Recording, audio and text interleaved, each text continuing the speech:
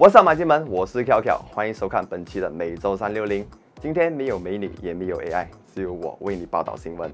在我们还没开始之前呢，记得订阅、按赞跟分享，还有 follow 我的 IG。好，我们开始我们的新闻。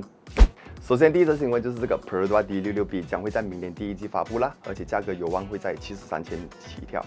在之前，我们率先报道的这个 Peridot 会在明年出一款全新的 B 型的 SUV 引入这个市场。在这款车呢，它的代号就是叫 D66B，而且这辆车听说它的车身啊会跟 X50 一模一样，所以我们相信这辆车推出呢是为了打这个 X50 而存在的一辆车款呢。根据目前已经知道的细节呢，新车将会采用和 LZ 一样的 DNGAP 平台，并且搭配了这个1.5自然吸气引擎，还有这个 DCVT 的变速箱。另外，新车也具备了这个 Level 2半自动驾驶辅助系统，也可以说是配备满满哦。有本地投资银行表示，新车将会在明年的第一季发布，而我们所收到的消息就是这个车会在七十三千左右起跳。所以大家觉得这个价钱怎样呢？第二则新闻，二零二三年 Mazda 3升级版已经登陆我国，而且取消这个1.5引擎的选项。二零二三年 Mazda 3已经正式引入本地的市场啦。最近本马烧特就正式发表了这个全新款式的 Mazda 3，那对比之前有什么差别呢？首先第一点就是取消了这个1.5的引擎，现在全系只有2.0自然进气引擎可以选择，最大马力162 horsepower，峰值扭力213牛顿米。第二点就是这个全系配备了先进的主动安全配备，拥有了这个 Stop and Go 功能。第三点也是最重要的一点，就是 Inline Edition 这次终于给了这个 Boss 音响系统，配备非常的满。新款的 Mazda 3就是从日本进口的啦，而且具备了这个五年的 Free Service。现在如果大家有兴趣的话，已经可以去到各大的 Mazda 展厅了解详情哦。第三则新闻，全新 BMW X2 已经全球首发，纯电、汽油都有。最近 B M W 就发布了一个全新一代的 X2 或者是这个 iX2 啦。熟悉 B M W 的朋友们都知道，前者是汽油版本，后者就是电动版本。那 X2 可以被视为这个轿车版的 X1，整体外观设计呢会更加的运动化，而且匹配这方面呢，它有了这个全新的亚蓝色，是不是看起来更帅嘞？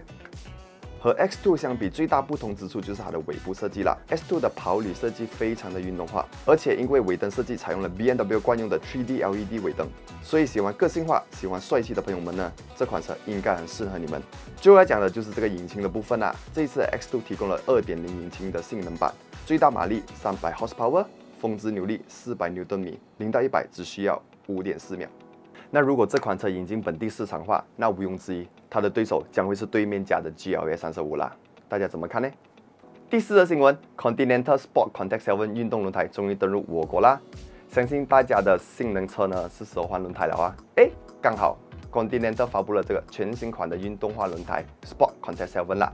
这个轮胎呢是专门为运动化车款打造啦，所以不管你的 CV Type 或者是其他运动车款呢。这款轮胎应该都是适合你的。